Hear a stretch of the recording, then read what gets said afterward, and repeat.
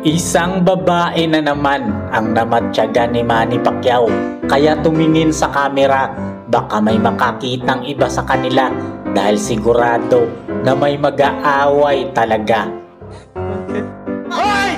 Hindi alintana ni Manny ang galit ni Jinky dahil ang tindi ng kanyang moves na Hokage.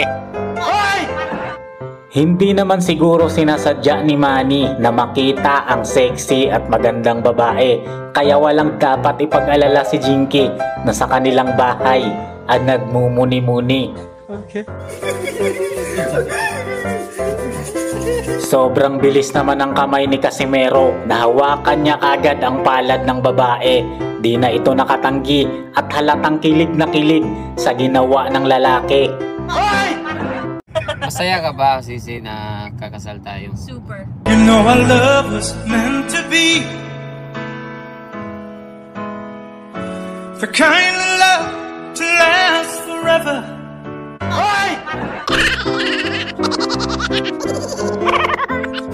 Hindi naman mapigilan ni Manny Pacquiao ang bilis ng kanyang kamay kaya kinalabit niya ang napakagandang malaporsila ng babae. Akala tuloy nito, ito ay si Bobby.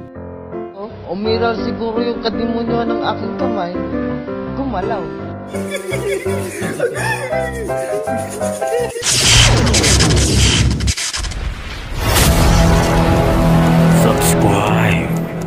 Itong si Manny Pacquiao naman ay hindi mapigilan ang bilis ng kanyang kamay kaya kinalabit niya ang hindi dapat kalabitin dahil magagalit si Jinky. Pero okay lang yun dahil nag-practice na itong si Manny Pacquiao sa sparring na puro iwas lang dahil sigurado na siya ay may pinaghahandaan. Sa bilis ng kamay ni Manny, hindi ito agad napansin ng magandang babae kaya inakala niya na ito ay si Bobby Pacquiao ang kumuhit sa kanya kaya sumimangot siya nang malaman niya na si Manny pala mukhang gusto niya pa ulit magpaisa.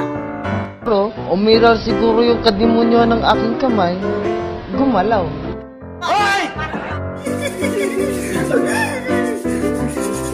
Mukhang sa labas na naman matutulog si Sir Manny ah.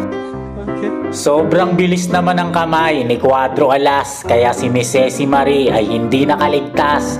Nahawakan niya agad ang palad ng dalaga kaya wala na itong nagawa kundi umuo sa kanya. Yari na si Cuadro Alas sa kanyang nobya na lalong gumaganda.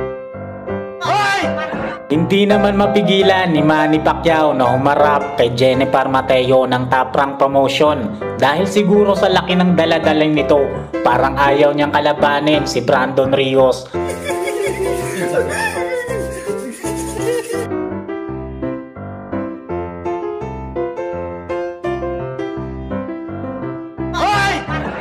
Sa pagbibiro ng ating pambansang kamao, parang gusto niyang kalabanin sa ibabaw ng lona ang napakagandang diwata. Halatang gustong gusto rin naman ito ng babae ang ginawa ni Sir Manny.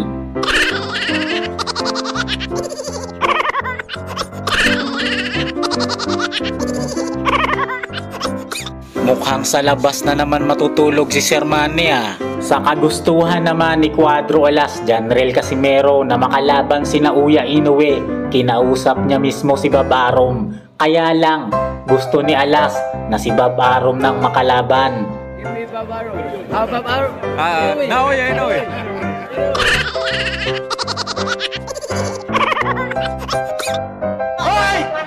Ito nga po pala ang inyong lingkod, Simple Team PH. Don't forget to subscribe and hit the notification bell button para mas marami pa kayong mapanood na video na katulad nito. God bless everyone. Bye-bye!